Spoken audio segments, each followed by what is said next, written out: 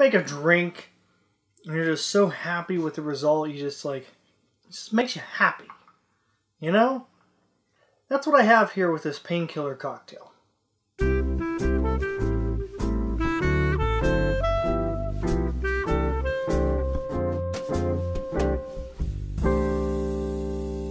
Hey everybody, my name is Eric and this is An Idiot's Liquor where me, myself, and I, a complete non-expert in the bar industry, makes cocktails. Just, uh, you know, have a little fun.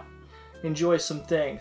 And today, you know, even though we're running out of summer, I think we still have some time for a few summery tiki type cocktails, and one of the most prominent ones is the painkiller.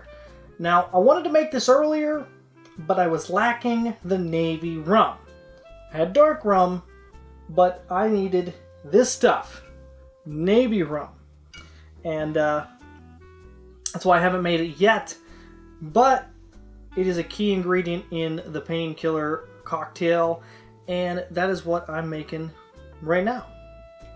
Now, the variation that I'm going to be making today is from Dale DeGroff. It was published in his book, The Essential Cocktail The Art of Mixing Perfect Drinks. I'll put a link to that down in the description below if you're interested in checking that out. Dale DeGroff, a highly respected member of the cocktail community. Now, like I had said prior, this is a drink that utilizes Navy rum. Now, you might be wondering what differentiates Navy rum from dark rum. Now, you might see some painkiller cocktail recipes that call for dark rum or a Navy rum if you're unable to get a hold of some, and that's acceptable, but you know, I wanted to stay true to form and use the proper ingredient, which would be uh, the Navy rum. This brand is called Pusser's Rum. It is from the British Navy. Alright, so let's start off with this drink. The prominent ingredient, the only liquor in it, of course, is my Navy rum. God, I just love the way that cork popping sounds. It's so cool. It's going to be two ounces. Two ounces of our Navy rum. It's going to go in there first. We're going to follow that up with two ounces of pineapple juice.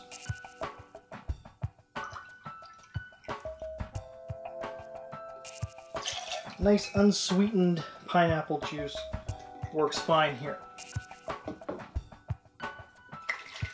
And then it's orange juice, and I'm kind of lazy. I don't like to squeeze my own orange juice, but I found this fresh squeezed unpasteurized stuff at the grocery store, and I'm going to use an ounce of it in the cocktail. And finally, it's going to be an ounce of the cream of coconut, the Coco Lopez, whatever the case may be, whatever you're using. It's okay to overfill that just a little bit because not all of it's going to come out in there. Truthfully, I should have, uh, you know, put it in first before some of my other ingredients, but I can't go back now. So the next step is to add some ice to this and give it a shake.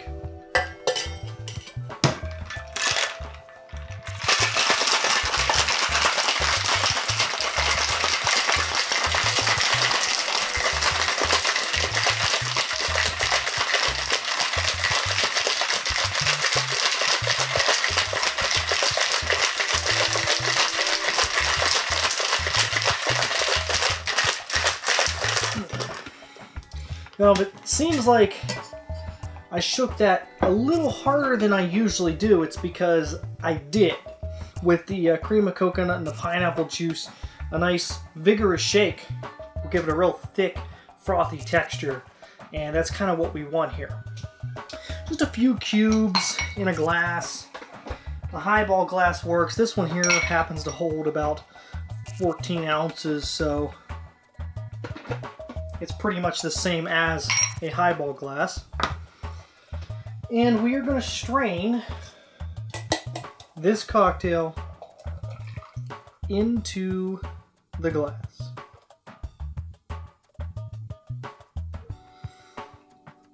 Mm hmm Very nice. Very nice. And the nice little finishing touch on this is a slight little sprinkle a freshly grated nutmeg on the top. To give it a nice fragrance and also a nice little dimension of flavor. And this is the painkiller cocktail. I've never had a painkiller cocktail, but it's generally regarded as one of the best tiki style cocktails there is, so let's find out if it's worth the hype.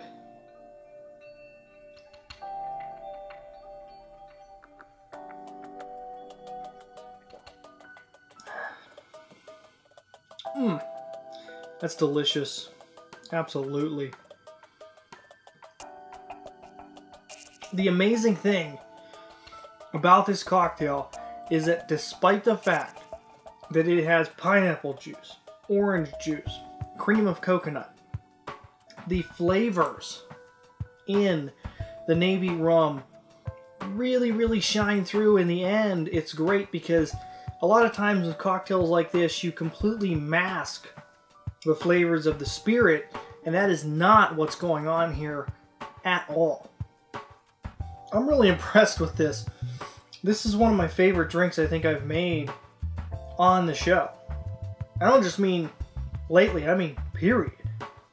To be fair, with the uh, filming today, yeah, I feel no pain. I feel fantastic. Um, not just because of the painkiller cocktail, but because of the, some of the stuff I made earlier. However, if you're into making cocktails and you want to get pain free like me and make a whole bunch of really cool cocktails at home, you can subscribe to the channel, click on the bell icon, that way you get notified when I post anything new. It also wouldn't hurt to check out the summertime cocktail playlist for more stuff like this. So until next time, I want to thank you all for watching, and remember that if this idiot can do it, well, so can you. Cheers.